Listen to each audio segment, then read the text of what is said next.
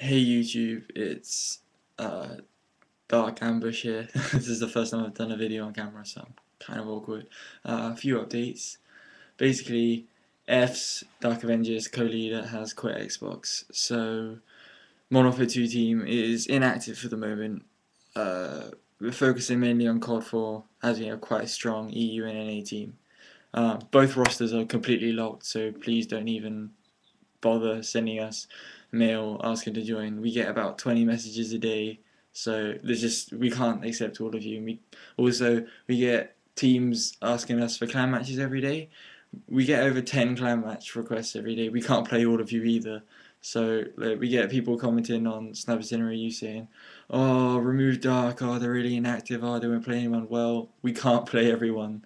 Uh, and to be honest, not being cocky, but half the teams that request to play, it's just going to be an easy upload for us, so it's not like it's a loss for you or anything.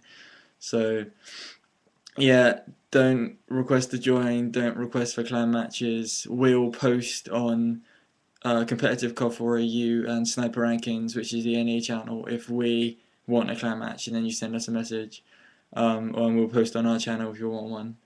Um, also, like, the team's built on loyalty and like we're all friends so that's why we don't do trials because you can't really trial and trials don't prove loyalty and friendship. So yeah that's that's the reason why we don't do trials. Like all the people that you see in the roster yeah they may be in trial basis but their trial basis not because we're trying at them because they've been on Modern Warfare 2 or they've been inactive.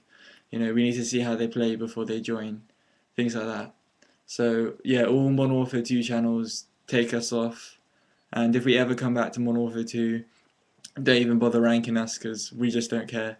Ranks don't prove anything, to be honest. All teams care about is ranks these days, and they don't play teams that they think will beat them because they don't want to lose their rank. But to be honest, rank doesn't prove anything. I mean, we're affect ranked, affect, affect, start again, affect a 25th, and to be honest, they should be top three. What does that prove?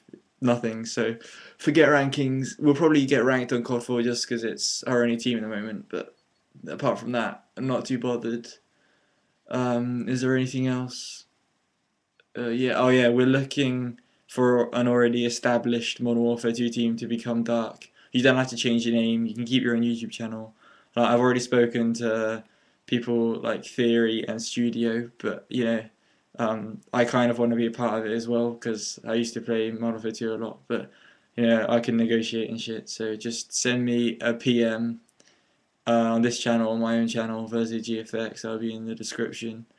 So yeah, um, you have to be top ten. Like I know it's harsh. Some people like aren't ranked and so on, but you know, end of the day, we want the best that, that we can get. So must be top ten. And that's about it. And yes, I'm ugly. Thanks, guys. Bye.